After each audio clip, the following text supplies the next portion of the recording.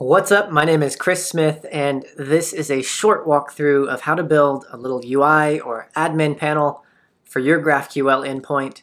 Check it out.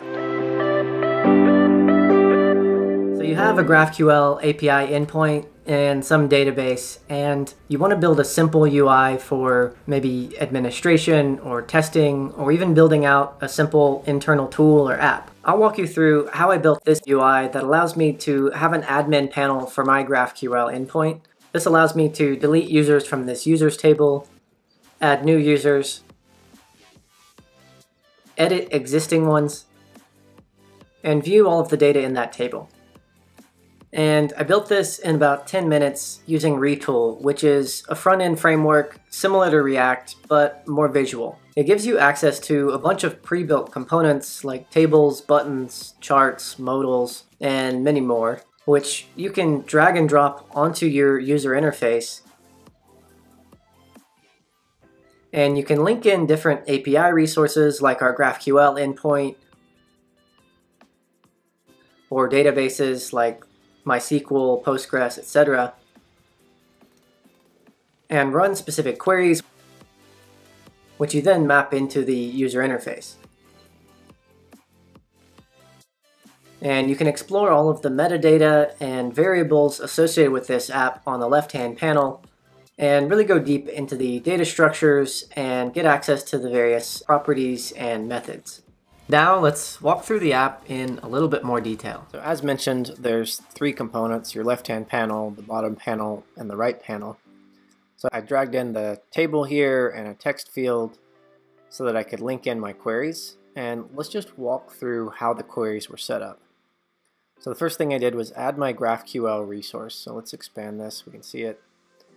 And I have a set of queries here, one for listing users from the database, one for deleting a user, which is linked to this delete button, one for inserting a user, which is linked to this plus button here, and one for updating a user, which is linked to whenever modification is made in the table. And looking at the list users GraphQL query in more detail, we can see the syntax of the query in the query editor. You can also explore the schema for the GraphQL endpoint. So I can preview this and see that it's making a call out and returning some data back. And the data for this table is being populated from the list users query, referencing the data object and the users array. Next, our delete user query is just linked to a delete action button in the table, which you can create by clicking new action. And then we've linked that to this delete user query and that'll populate based on whichever queries you have set up in the bottom panel. And the delete user is passing in the selected row ID.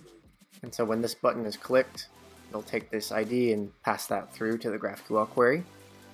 For updating a user, the values in this table as they're updated will populate to a property called record updates, which will be an array of the changes in that table. So I'm just referencing those changes and passing those into this mutation for updating users by primary key.